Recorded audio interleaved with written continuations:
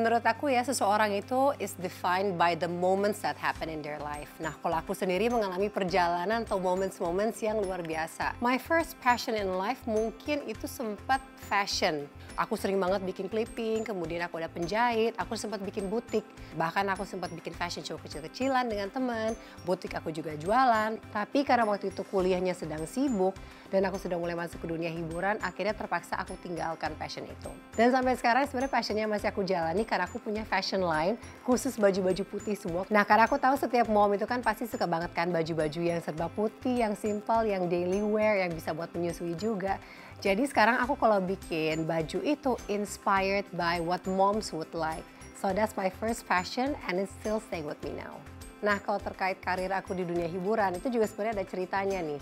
Sebelumnya kan aku baru saja pulang sekolah dari uh, mengambil master's degree dan aku juga sudah memutuskan untuk bekerja sebagai seorang profesional. Aku sudah mendapatkan dua tawaran pekerjaan. Tapi waktu itu juga masih banyak kegiatan presenting. Karena aku pernah mengikuti pemilihan model di tahun 2001, kemudian pemilihan Putri Indonesia tahun 2004, menjadi Putri Pariwisata selama satu tahun dan sempat keliling Nusantara juga. Nah, pada saat aku mau memutuskan, oke, okay, what am I gonna do with my life? Apakah aku mau menjadi seorang profesional seperti aku cita-citakan dulu atau mau di dunia hiburan? Dan aku sempat berdoa sama Tuhan, Tuhan tunjukin ya jalannya ya, which one is the right way for me. Dan langsung dijawab loh. Dan pada saat itu aku instinctively aja mengambil dunia hiburan and I'm so glad I did. Karena aku tipe orangnya nggak setengah-setengah. Begitu aku sudah memutuskan di dunia hiburan, akhirnya aku juga all out di situ. Dan akhirnya it goes along very well dengan fakta bahwa aku suka banget banyak anak, keluarga. Karena mungkin kalau aku bekerja kantoran ya, dikit-dikit cuti hamil aku juga mungkin udah dipecat kali ya. Tapi memang akhirnya itulah one of the defining moments in my life di saat aku memilih sebuah pekerjaan yang benar bisa uh, mensupport gaya hidup aku. My first moment of motherhood is full of support, of love, and attention. Ketika aku menyadari bahwa aku akan menjadi seorang ibu itu benar-benar adalah seperti epiphany, seperti aku this is what I've been been dreaming of all my life dan terutama juga melihat reaksi daripada suami. Suami aku memang aku dipertemukan dengan soulmate yang memiliki cita-cita yang sama nih. Pengen punya keluarga besar, he's very into families. Karena memang ini adalah anak pertama, cucu pertama, keponakan pertama, tentunya atensi dari keluarga luar biasa termasuk atensi untuk makan itu adalah di mana aku benar-benar let go mengikuti semua kata hati dan alhasil naik 25 kg. Sekarang aku mau cerita nih mengenai kehamilan aku yang kedua. Ini cukup menarik nih karena ketika aku juga menerapkan semua pola yang sudah aku tuangkan dalam buku untuk kehamilan yang kedua, yang juga menarik adalah ini pertama kali aku memiliki ngidam. Sampai akhirnya sepanjang kehamilan aku yang kedua itu aku sempat empat kali pergi ke pulau dan benar-benar sama suami berenang ke lautan lepas. Sesudah dikaruniai dua perempuan yang sehat, cantik, sempurna, ternyata aku masih diberikan kepercayaan Tuhan untuk mengandung lagi nggak cuma satu kali tapi dua kali. Jadi jaraknya cukup jauh sesudah melahirkan Nuala di tahun 2009, aku kemudian hamil lagi di tahun 2016. Dan yang sangat menarik adalah kali ini aku tidak mau tahu jenis kelaminnya, gendernya. Dan akhirnya saat aku melahirkan, dokter mengatakan it's a boy dan aku sudah mempersiapkan nama. Aku berikan nama Delmar untuk anak laki-laki aku yang menjadi anak laki-laki satu-satunya hingga saat ini. Artinya adalah di tepi lautan atau by the ocean karena itu adalah tempat favorit aku dan suami dan juga anak-anak. Aku pikir hidup aku sudah komplit ya, udah punya seorang suami yang begitu mengasihi aku dan anak-anak, punya tiga anak yang sehat, dua perempuan dan ada lakinya juga satu. I thought it was complete sampai akhirnya aku menemukan test pack aku positif sekali lagi. Jadi here we go with number four. Nah ketika anak aku yang keempat sudah lahir, aku beri nama Niluh Nah Nilu beda lagi nih karena Nilu lahir di era social media yang begitu pesat. Aku benar-benar merasakan bahwa momen-momen kelahirannya dia sangat dinantikan oleh followers aku. Aku sempat update di Instagram story. Ini aku udah kontraksi ke bukan kelima nih guys. Ini udah bukaan ketujuh nih guys. Aku lahiran dulu ya guys. Ternyata semua orang menantikan sampai udah lahir atau belum. Begitu Nilu sudah lahir dengan cara normal dan aku juga sempat melakukan proses melahirkan dengan senyuman.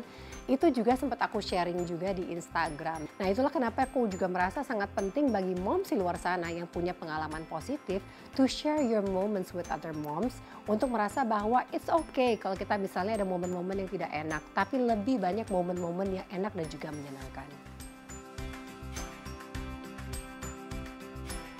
Tadi di awal aku sempat bilang ya bahwa seseorang itu kan adalah divine by the moments that happen in their life. Dan aku merasa bahwa momen aku menemukan suami aku, aku melahirkan, itu adalah momen-momen yang sangat berarti dalam hidup aku. Dan semakin banyak aku juga mengalami itu, itu membuat aku semakin santai, semakin menikmati menjalani motherhood. Dan pada momen itu juga biasanya aku akan menyelipkan kepada mereka, moms kalian juga harus menyadari bahwa it's not just about the baby, it's not just about your husband, it's not just about your family, it's about you. Makanya aku termasuk penganut me time, aku termasuk seorang aktivis daripada me moments, dan aku sharing kepada semua moms di luar sana. Aku bilang sama mereka, kamu harus mencari hal-hal yang membuat kamu bahagia. Karena kalau kamu bahagia, anak kamu sudah pasti akan bahagia, sejak dari dalam perut pun akan bahagia, and the whole family akan bahagia. So that's why menurut saya sangat penting banget para moms di luar sana to have your me time atau to have your me moments. Bertemu dengan Lila was another highlight of moment in my life karena aku merasa bisa bertemu dengan sebuah brand yang menganut filosofi atau belief yang sama seperti aku bahwa penting banget untuk memberikan apresiasi kepada para moms di luar sana so they will also have a very beautiful experience with their family. Dan karena sama-sama nih kita adalah tipe yang sangat menghargai kecantikan dan perawatan kecantikan, wah pas banget. Jadi ketika aku mulai pertama kali melihat di lila.id, aku melihat produk-produknya tuh tidak hanya saja udah curated, cocok banget untuk para moms dan juga untuk uh, si kecil. Tapi for me, because sebagai seorang aktivis lingkungan juga, aku sangat kagum melihat pilihan atau kurasi produknya yang banyak berasal dari brand-brand yang memang memiliki suatu responsibility yang sangat tinggi terhadap lingkungan. Brand-brand yang kalau aku lihat packagingnya juga sangat environmentally friendly, tidak melakukan testing pada binatang, dan mereka juga sustainable process of production dan seterusnya. Itu membuat aku merasa bahwa ini sama banget nih values-nya dengan para moms di luar sana. Ingin memberikan yang terbaik untuk dirinya dan keluarganya, but they also wanna have the experience. Nah speaking of the experience, karena memang me time itu sangat penting untuk para moms. Aku suka banget dimulai dari saat ada ketokan di pintu. Terus kemudian aku buka dan aku mendapatkan sebuah box warna lilac ungu muda seperti ini. This really makes my day karena aku tahu ini adalah sebuah kiriman for me and me only ya buat anak-anak juga sih, but I think it's for me, yang sangat peduli kepada kita. Nah, this is what I do, I take a time for myself. Caranya simple banget, anak-anak dan suami juga udah tahu. Kalau aku sudah pergi ke kamar mandi dengan secangkir kopi, itu artinya I'm having my me time. Because menurut aku kamar mandi is one of the places di mana kita benar-benar bisa just be by ourselves dan indulge. Aku kunci pintu, aku nyalakan lagu favorit aku, kemudian sambil minum kopi, aku melakukan beberapa ritual kecantikan.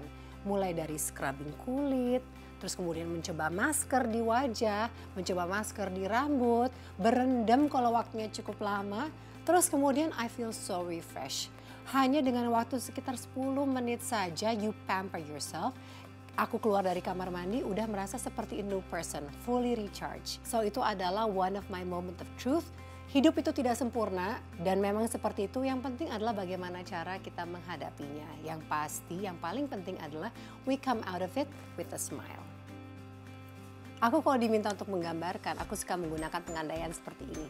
Kita naik pesawat terbang kan akan selalu dibilang kalau ada kendala dalam cabin pressure akan dijatuhkan oksigen mask. Nah, kenakan di diri kamu dulu sebelum membantu orang lain. Nah, sama halnya dengan, dengan menjadi seorang mom, sebelum kita bisa membantu keluarga kita yang lain, kita harus membantu diri kita sendiri dong, because there's a mom in every moment. Jadi pastikan bahwa mom is always healthy and happy and fulfilled, maka the whole family pun akan seperti itu. So it's really okay mom to take a moment for yourself. Yang mau aku sampaikan kepada para moms di luar sana adalah bahwa it's okay to have your ups and down. Hidup itu tidak sempurna seperti yang aku udah bilang tadi. Tapi yang paling penting adalah kita tahu bahwa kita membutuhkan moment for ourselves mengapresiasi diri sendiri. Karena pada saat itulah tentunya anak-anak kita akan bisa juga lebih mengapresiasi dirinya saat ia dewasa nanti. Nah salah satu caranya kan adalah seperti itu, to indulge yourself. Tapi aku juga paham dengan kondisi seperti sekarang, rasanya kita tuh nggak punya waktu untuk diri kita sendiri. Ya kita cari alternatif yang paling memungkinkan. That's why aku begitu support dan juga cocok dengan Lila. Karena at your fingertips kita juga bisa melihat produk-produk yang sudah terkurasi untuk para ibu dan juga anak 100% BPOM asli sehingga kita udah peace of mind gak usah khawatir lagi dan juga kalau kita masih ragu kita mau pilih yang mana tinggal lihat moms reviewnya saja dan ingat bahwa momen ketika kita memanjakan diri sendiri kita mendapatkan that lilac box dan kita menikmati isinya sebagai our me time itu merupakan apresiasi untuk diri sendiri karena para moms memang sangat dan layak mendapatkan apresiasi So remember moms, it's okay to take a moment to appreciate yourself.